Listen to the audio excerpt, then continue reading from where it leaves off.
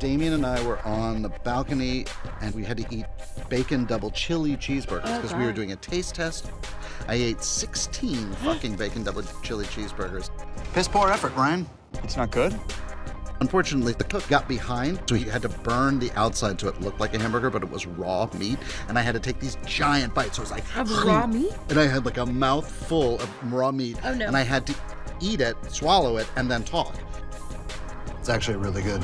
And I fucking did it. Absolutely And not. I swallowed it. That's dedication. Yeah, I'm dedicated. That's how we do on billions. Yeah.